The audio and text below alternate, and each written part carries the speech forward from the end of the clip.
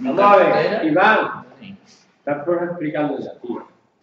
Me alegro que tenéis una tabla de cuántos alumnos hay aquí. Bueno, que la tenemos. Tres.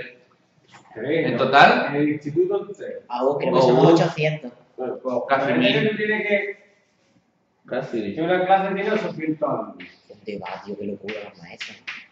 No se puede decir 800 alumnos, ¿vale? ¿Por qué? Porque la... verdad, yo no qué locura.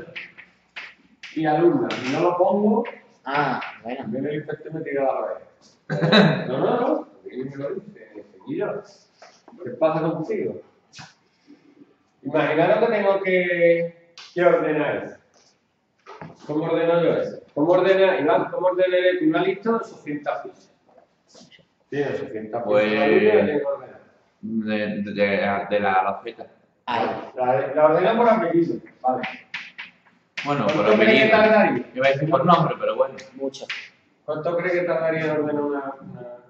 Mm, dos horas, dos horas y pico por lo menos. No. Ahora viene un profe y dice, tío, dame la ficha de mis alumnos.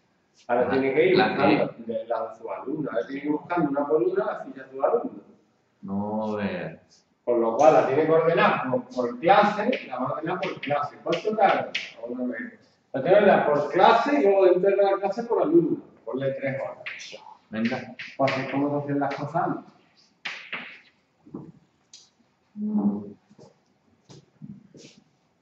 El S, la hoja de cálculo, tiene una opción que se llama ordenar. Miro 20 que más aquí. Tú le das al botón ordenar, ¿vale? Y te dice, ¿por qué columna quiere ordenar? Y dice, no, a tener apellido, nombre, ¿qué más? Fecha de nacimiento, clase, etcétera. Tú le dices la columna por la que quiere ordenar, y quiere ordenar por clase, y de tanto se ordena. Los cambios de. ¿Qué imaginas? Y luego, además, puede ordenar por dos cosas. Por ejemplo, dentro de cada clase, quiere ordenar por apellido. Por ordenar por clase, por apellido.